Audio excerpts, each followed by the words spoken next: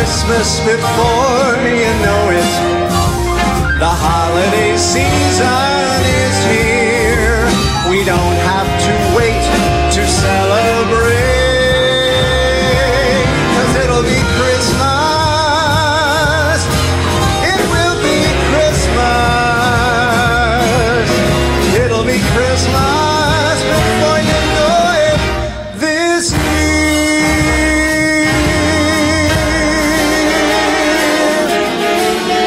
It's here.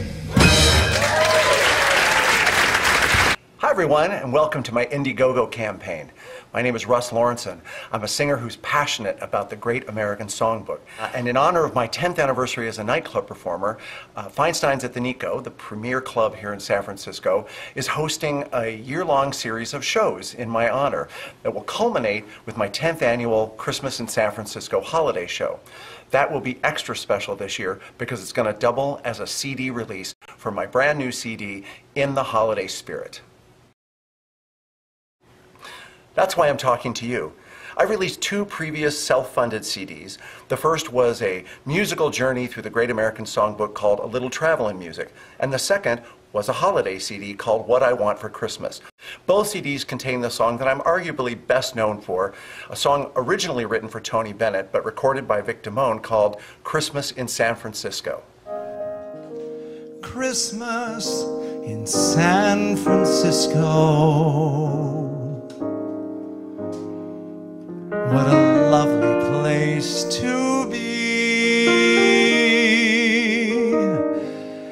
Seeing the hills being all lit up like a diamond Christmas tree.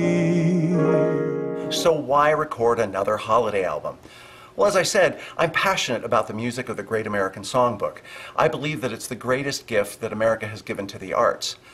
The golden age of the Great American Songbook is also the golden age of Christmas music. All those gorgeous Christmas songs that we listen to every year were written and performed by the same people who were creating the standards that we've grown to love. While the new album will have several chestnuts from the 50s, the Great American Songbook period, it will also have some new contemporary songs written in that style, and all of it will be backed by the amazing Kelly Park Big Band.